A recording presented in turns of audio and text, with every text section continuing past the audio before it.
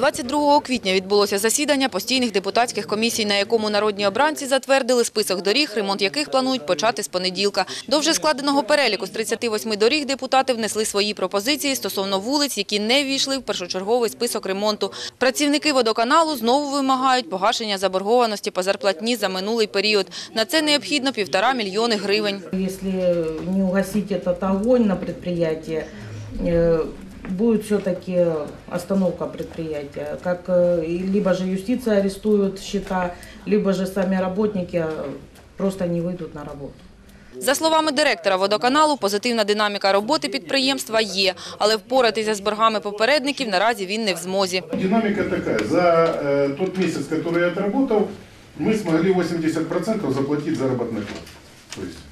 Это с тем, что мы погасили и задолженность по материалам, и по тем предприятиям, с которыми мы непосредственно работаем, это ГСМ. И э, 305 тысяч даже заплатили компании Воды Донбасса, чтобы постоянное шло давление, водичка, которую мы покупаем, не была снижена на город э, Славянск. Долги перед э, заработной платой, как бы я не хотел, я их не смогу погасить. Міська влада та депутати роботою нового директора задоволені, тому єдиноголосно вирішили допомогти з виплатою боргів по зарплатні працівникам водоканалу. Але вже через чотири місяці чекають від керівництва підприємства суттєвих результатів. Я на сегодняшний момент доволен результатами м, нового руководителя горводоканала, и они просили, э, когда они приступали, это уже полтора месяца, да, вы работаете, Олег Сергеевич? Да. Вот, просили запас где-то 3-4 месяца, чтобы постараться свести доходную и расходную часть. Воєнний комісар міста звернувся до міськвиконкому з ініціативою розглянути питання стосовно надання пільг на оплату комунальних послуг мобілізованим на військову службу слов'янцям з місцевого бюджету. Працівники управління соціального захисту підрахували, які суми для цього необхідні. На сегодняшний день это 21 человек у нас по городу. Управлением рассчитан эквивалент льгот на оплату за жилищно-коммунальные услуги из расчета на одного человека и согласно э, норм.